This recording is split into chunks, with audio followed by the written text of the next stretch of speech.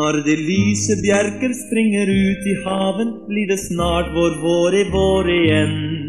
Når den hvite måke hilser sine kjære, skal jeg møte deg, min barndomsvenn. For når det blå hav en gang er stilnet av, jeg letter anker her i Mandalay. For da sender jeg en hilsen hjem med en bukett violer ifra meg til deg.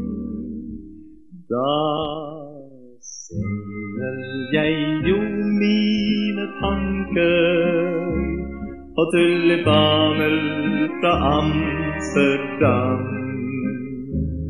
For deg alltid hjertet mitt banker, og jeg kommer tidsnok fram. På solen jeg ser så titta, og jeg tenker på Anders og Britta. Vår hvite syrener som blomstrer i haven, vil si meg tres kjærlige ord. Jeg venter på deg til du kommer, sang piken i dalen og lo. Det løftet jeg svor om en blåveis til mor, har fulgt overalt hvor jeg dro. Når jeg kommer hjem, så sett døra på klem. Snart danser vi tango for to.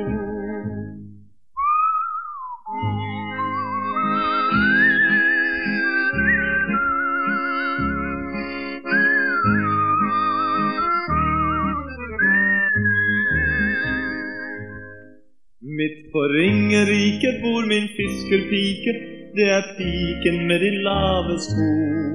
Hver gang lysene blir tent der hjemme, vil hun aldri glemme dagen da jeg dro. Lille vakre Anna, vi skrev kjærlighetsbrev i sanda, ja, hva må jeg tenke på? Lille Tomme, Tomme, Tomme liten, ja, den lille guttebassen vi skulle få. Jeg tenker på Mari Bedåre, hun er vel blitt gammel nå.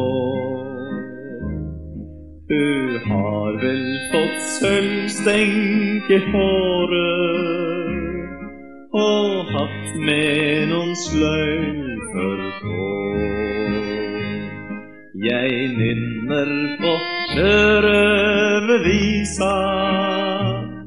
og jeg drømmer om deg, Mona Lisa.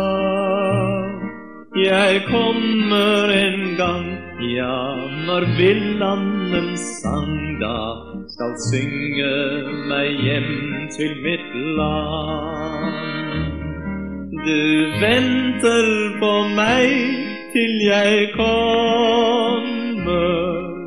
og holder det løftet du ga. Billy Bryans kafé var et hyggelig sted. Nå ligger det ensomt forlatt.